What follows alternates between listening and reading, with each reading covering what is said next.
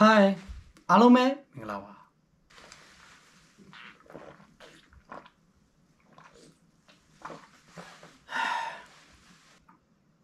ကျွန်တော်စင်တူအောင်ပါဒီနေ့ဗီဒီယိုမှာဆမ်မွန်နဲ့ဒိုင်ကခုကောလိပ်နဲ့တက္ကသိုလ်ဘာကွာလဲဆိုတာနဲ့ပတ်သက်ပြီးတော့ကျွန်တော်ပြောပြပေးသွားမှာဖြစ်ပါတယ်ဂျပန်မှာ language school ပြီးသွားရင်ဆမ်မွန်ကိုတွားမလားဒိုင်ကခုကိုတွားမလား ဆမ်မွန်ကခုဆိုတာဘယ်လိုမျိုးလဲဒိုင်ကခုဆိုတာဘယ်လိုမျိုးလဲဆိုတာကိုမသိဘဲနဲ့ဝေဝါးနေတဲ့သူတွေရှိတယ်ဆိုရင်တော့ဒီဗီဒီယိုလေးကိုဆုံးအောင်ကြည့်ရှုပေးဖို့တောင်းဆိုချင်ပါတယ်အဲ့တော့ကျွန်တော်စကားတွေအများကြီးမပြောတော့ပါဘူး let's go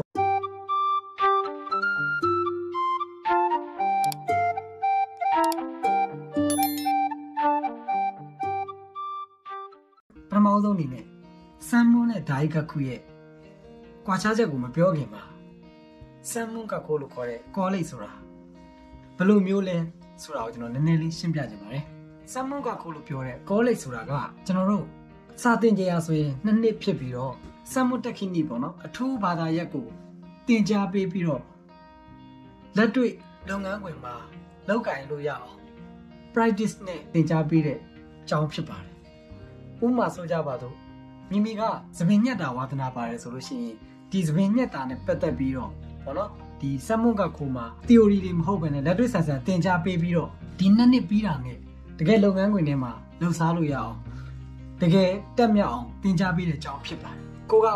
ဒီဇိုင်းဆွဲတာမှာဝါသနာပါတယ်ဒါမှမဟုတ်ဘူးမိတ်ကပ်ပြင်တာမှာဝါသနာပါတယ်ဘောနော်အမျိုးမျိုးအသီးသီးဘာသာရပ်တွေအများကြီးရှိပါတယ်အဲ့ဒါကိုသူတို့သတ်မှတ်ထားတဲ့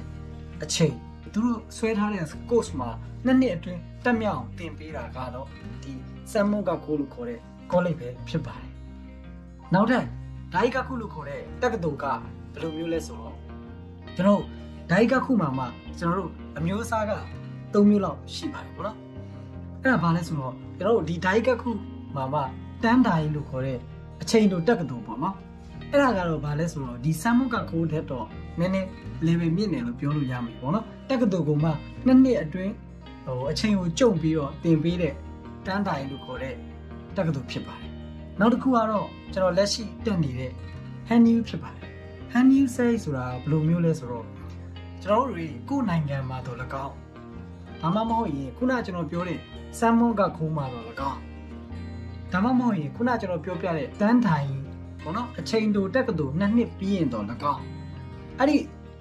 အသီးသီးမှာဘွဲရပြီးတော့ဒီ၃နှစ်ကနေပြီးတော့ဖြတ်ဝင်တာဖြစ်ပါ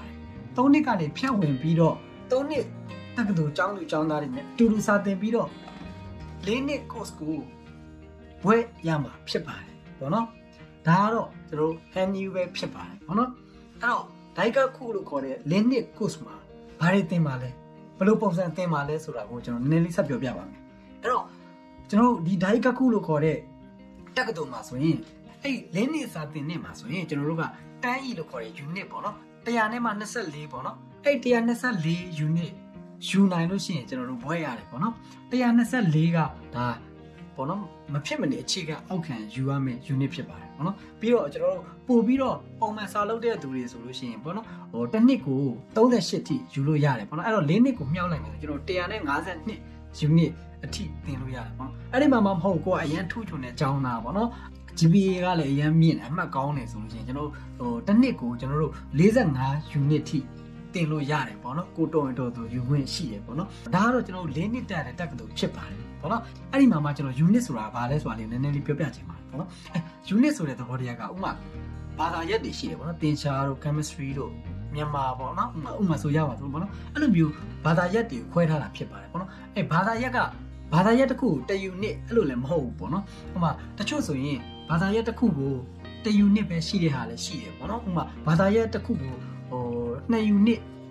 ထိရတဲ့ဘာသာရပ်တွေလည်းရှိတယ်ပေါ့နော်ဒါကဘာသာရပ်ပေါ်မူတည်ပြီးတော့꿰တယ်ပေါ့နော်အဲအဲ့လိုမျိုးတတ်မှတ်ထားတဲ့ဟိုဟာဖြစ်ပါတယ်ပေါ့နော်ခုကျွန်တော်ပြောပြနေတဲ့အကြောင်းအရာတွေကဘောနော်တက်ကတူကကျွန်တော်လက်ရှိတက်နေတဲ့ဘောနော်ဒီ တက္ကသိုလ်ရဲ့အချက်လက်တွေနဲ့စနစ်တွေဖြစ်ပါတယ်ပေါ့နော်များသောအားဖြင့်ဟိုဂျပန်နိုင်ငံရဲ့ဓာတ်ကခုလို့ခေါ်တဲ့တက္ကသိုလ်တွေကတော့ဒီလိုပုံစံဒီလိုစနစ်တွေနဲ့ပဲသွားကြတာဖြစ်ပါတယ်ပေါ့နော်ဟိုအဲ့ဒီမှာမှတက္ကသိုလ်ပေါ်မူတည်ပြီးတော့ယူရတဲ့ unit အရေးအတွက်ကလည်းကွာကောင်းကွာနိုင်ပါတယ်ပေါ့နော်ဆိုတော့ဆဆက်ပြောရမယ်ဆိုရင်ကျွန်တော်တို့ဟုတ်ပြီ၄နှစ်ကို124 unit ပေါ့နော်ဆိုရပါစို့အဲ့ဒါဆိုရင်ကျွန်တော်တို့ဟိုတစ်နှစ်ကိုကျွန်တော်တို့က38 unit ထိယူလို့ရတယ်လို့ပြောတယ်ပေါ့နော်ပထမနှစ်နှစ်ကဆိုရင်84ပေါ့နော်နောက်နှစ်နှစ်ကဆိုရင် 84ပေါ့နော်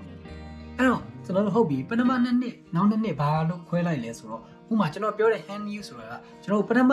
အော်ဘောနော်ကိုယ်နိုင်ငံမှာပဲဖြစ်ဖြစ်ဒီမှာဆမ်မွန်ကဘူးပဲဖြစ်ဖြစ်ပေါ့နော်ဘွေးရပြီးသွားပြီဖြစ်တဲ့အတွက်ကြောင့်မလို့ဒီဟိုတက္ကသိုလ်တွေကပေါ့နော်ဒီပထမ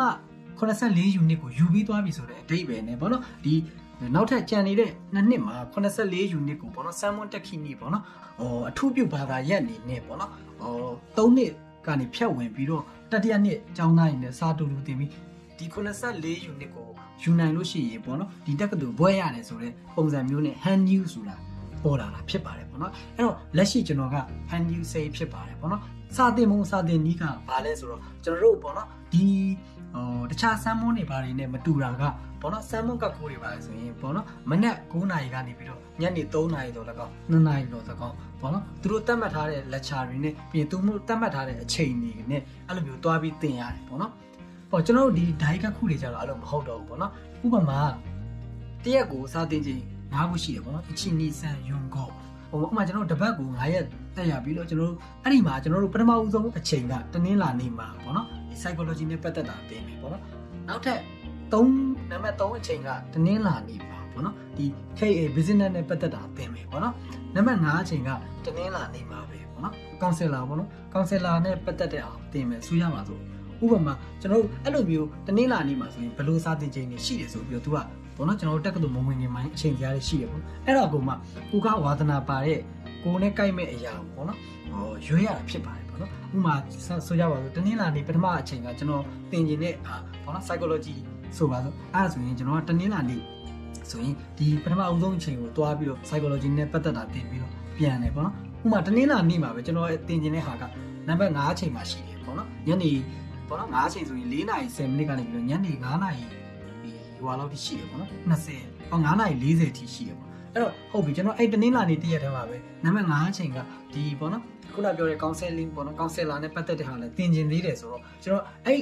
တိကန်တိချိန်တင်ပြီးတော့ပြန်ပြီးတော့နောက်ဘက်9ချိန်မှာလည်းအဲ့လိုမျိုးသွားယူတယ်ပေါ့နော်အဲ့လိုမျိုးပုံစံနဲ့စာတင်ရတာဖြစ်ပါတယ်ဥမာကျွန်တော်တင်ကျင်တဲ့ဘာသာရက်ကဘောနော်အင်္ဂါနေ့မှာမရှိဘူးဆိုရင်ကျွန်တော်အဲ့ဒီကိုကြောင်းသွားစရာမလိုဘူးပေါ့နော်ကျွန်တော်ဒိုင်ကခုဆိုတဲ့ပုံစံကအဲ့ဒီပုံစံမျိုးနဲ့သွားတာဖြစ်ပါတယ် ပေါ့နော်အဲ့တော့ကျွန်တော်ဒိုင်ကခုမှာဘလို့ပုံစံမျိုးစတင်လဲဆိုတော့ကျွန်တော်တို့ဒီ formula တွေနဲ့ပြီးလို့ရှိရင်ကျွန်တော်တို့ဥမာကျွန်တော်ယူထားတဲ့ Zenmi ပေါ့နော် major ဆိုလို့ရှိရင်ကျွန်တော်က KA ပေါ့နော် business management ပေါ့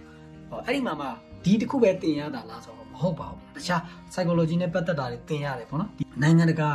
ဘန်နာရေးတွေနဲ့အကြောင်းတွေတင်ရတယ်နိုင်ငံတကာစီးပွားရေးအကြောင်းတွေတင်ရတယ်ပေါ့နော်ဟိုခီးသွားအကြောင်းတွေလည်းတင်ရတယ်ပေါ့နော်အဲ့လိုအမျိုးမျိုးတွေတင်ရတာဖြစ်တယ်ပေါ့နော်အဲ့ဒါကိုမှကျွန်တော်ပထမတစ်နှစ်မှာတော့ formula တွေနဲ့ပြီးတော့နောက်ပိုင်းနှစ်နှစ်ကြာလို့ရှိရင်ကျွန်တော် internship တွေပါတွေပါပါလာပြီပေါ့နော်အဲ့လိုမျိုးပုံစံတင်ရတာဖြစ်ပါတယ်ပေါ့နော်ဒါကတော့တက္ကသိုလ်ဖြစ်ပါတယ်ပေါ့နော်တက္ကသိုလ်နဲ့စမ်းမုန်းနဲ့ဘာကွာလဲဆိုကျွန်တော်ခုနကပြောပြတဲ့အထဲမှာကွာတော်တော်ရှင်းရှင်းလင်းလင်းဖြစ်သွားပါပြီပေါ့နော်ဟောစမ်းမုန်းနဲ့တက္ကသိုလ်က ပေါ့နော်တင်ရတဲ့အချိန်လည်းမတူဘူးပြီးတော့သွားတဲ့ system ချင်းလည်းမတူဘူးပေါ့နော်အဲ့တော့စမ်းမွန်ဆိုတာကကျွန်တော်တို့ဒီအထူးပြုပါတာရတစ်ခုတည်းကိုပဲအသေးစိတ်တင်တာဖြစ်တဲ့အတွက်ကြောင့်မလို့ကျွန်တော်ဒီတစ်ခုတည်းကိုပဲပေါ့နော်တက်မြောက်တာဖြစ်ပါတယ်ပေါ့နော်တက္ကသိုလ်ကတော့အဲ့လိုမဟုတ်ဘူးပေါ့နော်ဒီကျွန်တော်ခုနပြောတဲ့ unit တွေအများကြီးရှိတဲ့အတွက်ကြောင့် unit တွေအများကြီးယူရတဲ့အတွက်ကြောင့်ကျွန်တော်တို့ဘောနော်သူတို့ရဲ့ရည်ရွယ်ချက်ကကျွန်တော်ဒီရှောက်ကိုင်းလို့ပြောတဲ့ပေါ့နော်ဟောလူပောင်ဖွဲ့စည်းတဲ့ဝင်တော့မယ်အလုပ်လုပ်တော့မယ်ဆိုရင်ပါတော့နော်အဲ့အတွက်လိုအပ်တဲ့ လူမှုဆက်ဆံရေးတွေပေါ့နော်အတွေးခေါ်တွေပြီးလို့ရှိရင်ဒီ business နဲ့ပတ်သက်တဲ့အရာတွေအကုန်လုံးကိုပေါ့နော်ဟိုခြုံပြီးတော့တင်ပေးတာဖြစ်တဲ့အတွက်ကြောင့်မလို့ပေါ့နော်ဟောပို့ပြီးတော့ကျင်ပြန့်တယ်ပေါ့နော်ပြောရမယ်ဆိုရင်အဲ့တော့ဟုတ်ပြီစမ်းမုန်းကကိုပြီးတာနဲ့ကျွန်တော်တက်ကတူပြီးတာနဲ့ဘယ်ဟာကအလုပ်ပို့ပြီးတော့ရနိုင်လဲဘယ်ဟာပို့ပြီးတော့အခွင့်အရေးရနိုင်လဲဆိုတော့ကျွန်တော်ရှင်းပြတဲ့မှာကိုတော်တော်ရှင်းရှင်းလင်းလင်းဖြစ်သွားမယ်လို့ထင်ပါတယ်ပေါ့နော်ကျွန်တော်စမ်းမုန်းကကိုကိုသွားမဲ့သူတွေအနေနဲ့ပေါ့နော်ဥပမာကိုကပေါ့နော်ကိုတင်ထားတဲ့ ကိုဘွဲရထားတဲ့စမ်းမုန်းကကိုနဲ့ပတ်သက်တဲ့အလုပ်ကိုပေါ့နော်ဝင်နိုင်နေဆိုပြီးတော့တေချာသုံးဖြတ်ပြီးမှဆမ်မုတ်ကကိုသွားပါပေါ့နော်။ဘာကြောင့်လဲဆိုတော့ကျွန်တော်ဆမ်ဥမာဆိုကြပါကျွန်တော်တို့ဟိုတယ်လုပ်ငန်းနဲ့ဒီဆမ်မုတ်ကကိုဘွဲရပြီးထားတယ်ဆိုပါစို့အဲ့ဒါကမှကိုကပေါ့နော်အလုပ်သွားရှောက်တဲ့ချိန်မှာကျွန်တော်တို့ကဒီဟိုတယ်လုပ်ငန်းမဟုတ်ဘဲနဲ့ပေါ့နော်တခြားနယ်ပယ်တစ်ခုဆိုကြပါစို့စားတောက်ဆိုင် ဘယ်ဘယ်ဆိုကြပါစို့ပေါ့နော်အဲ့လိုမျိုးဝင်လိုက်တယ်ဆိုရင်ကျွန်တော်တို့ဒီ new ကန်ကနေပြီးတော့ဗီဇာမပေးပါဘူးပေါ့နော်။ဘာကြောင့်လဲဆိုတော့ကိုရထားတဲ့ဟဘောနော်ဆမ်မွန်တက်ခီကဘောနော်ကိုရထားတဲ့ပညာရက်ကဒီဟိုတယ်လုပ်ငန်းနဲ့ပတ်သက်တာဖြစ်ပြီးတော့ခုတကယ်လဲအလုပ်ဝင်တော့တခြားကိုရထားတဲ့ဟာနဲ့လွဲနေတဲ့အတွက်ကြောင့်မလို့ဗီဇမရတာတွေဖြစ်တတ်ပါတယ်ပေါ့နော်အဲ့အတွက်ကြောင့်မလို့ဆမ်မွန်ကခိုကိုသွားမယ်ဆိုတဲ့သူတွေအနေနဲ့မသွားခင်ကတည်းကဘောနော်ကိုလုပ်ချင်တဲ့အရာကတကယ်ရောဒီဥစ္စာဟုတ်ရဲ့လားဥပမာကားနဲ့သွားမယ်ဆိုကားရောဟုတ်ရဲ့လား ဘောနော်ဒီဟိုတယ်လုပ်ငန်းနဲ့သွားမယ်ဆိုရင်ဟိုတယ်လုပ်ငန်းကဟုတ်ရဲ့လားဘောနော်ကိုရဲ့ဝါသနာနဲ့ကိုပြီးလို့ရှိရင်အလုံးဝင်ရမယ့်ဟာကိုတေချာချင်းကိုလုပ်ချင်တဲ့အရာနဲ့တေချာကိုက်ပြီးတော့မှရွေးချယ်ပြီးတော့မှသွားတင်တယ်လို့ကျွန်တော်အနေနဲ့ကြိုက်ပေးချင်ပါတယ်ပေါ့နော်ကျွန်တော်ဒိုင်ကခုဆိုတာတော့လုံးဝနေပေအခြေဖြစ်ပါတယ်ပေါ့နော်အဲ့ဒါကြောင့်မလို့ကျွန်တော်တို့တချို့အလုပ်တွေမှာဆိုရင်ဒိုင်ကခုဘွဲရတဲ့သူတွေပဲခေါ်တယ်ပေါ့နော်ဆမ်မွန်ကခိုးတွေဆိုမခေါ်ဘူးတွေပါတယ်အဲ့လိုမျိုးတွေကန့်တက်ထားတဲ့အလုပ်တွေရှိပါတယ်ပေါ့နော် အဲ့အတွက်ကြောင့်မလို့ကျွန်တော်တို့ဒီဒိုင်ကခုနဲ့ဆမ်မွန်ကခိုးကဘာကွာလဲဆိုရင်ကျွန်တော်တို့ဒီတင်ကြားတဲ့စနစ်ပုံစံနဲ့ကွာခြားတယ်လို့ပြီးတော့အလုပ်ရပိုင်ခွင့်အနေနဲ့ဆိုလို့ရှိရင်လေဘောနော်ဒီဒိုင်ကခုပြီးတဲ့သူတွေကပို့ပြီးတော့ဘောနော်ဟိုရပိုင်ခွင့်ပိုများတယ်ပေါ့နော်အဲ့လိုပြောလို့ဆမ်မွန်တက်နေတဲ့သူတွေကလုံးဝအလုံးမရတော့ဘူးလား ပေါ့နော်အဲ့မေးစရာရှိပါအဲ့လိုလည်းမဟုတ်ပါဘူးပေါ့နော်ကျွန်တော်ဒီဆမ်မွန်ပြီးသွားပြီးတော့လေအော်ကုမ္ပဏီကောင်းကောင်းတွေရသွားတဲ့သူတွေလည်းအများကြီးရှိပါတယ်ပေါ့နော်အဲ့အတွက်ကြောင့်မလို့ဟိုကိုယ့်ရဲ့အပေါ်မှာလည်းအများကြီးမူတည်ပါတယ်ကိုယ့်ရဲ့ကြိုးစားအားထုတ်မှုနဲ့ကိုယ့်ရဲ့အော်အစွမ်းစားပုံမှာလည်းအများကြီးမူတည်ပါတယ်ပေါ့နော်ပြီးတော့ဟိုဒိုင်ကခုပြီးပြီးတော့လေအော်အလုံးမရတဲ့သူတွေလည်းအများကြီးပဲရှိပါတယ်ပေါ့နော်အားတော့ကျွန်တော်ပေါ့နော်ဆမ်မွန်ကခုနဲ့ဒိုင်ကခုရဲ့အာခြားနာချက်လေးဖြစ်ပါတယ်ပေါ့နော်ဒါလောက်ဆိုလို့ရှိရင်ဟိုဂျပန်ရဲ့ဆမ်မွန်ကောလိပ်ဆိုတာဘယ်လိုမျိုး ပြီးဒိုင်ခတ်ခုဆိုတာဘယ်လိုမျိုးဆိုတာကိုကိုကိုပြပြတည်သွားလိမ့်မယ်လို့မျှော်လင့်ပါတယ်အဲ့တော့ကြောင့်မလို့တည်ကျင်တဲ့မိကုန်းတွေရှိရင်လည်းကျွန်တော်ရဲ့ comment မှာမေးခဲ့ပေးလို့ရပါတယ်အဲ့တော့ဒီနေ့ရဲ့ဗီဒီယိုလေးကိုဒီလောက်နဲ့ပဲဆုံးသက်ချင်ပါတယ်ခင်ဗျာအဲ့တော့အားလုံးကိုထူးပဲကျေးဇူးတင်ရှိပါတယ်ဘိုင်ဘိုင်